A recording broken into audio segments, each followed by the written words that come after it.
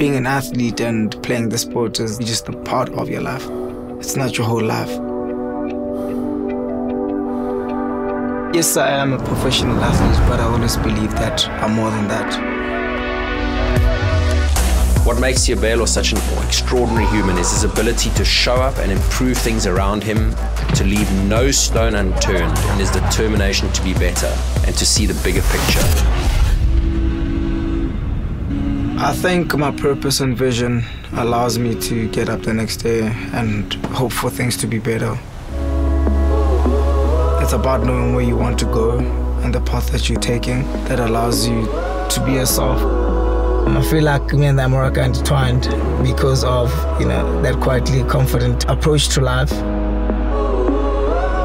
I've spent my whole career facing opposition.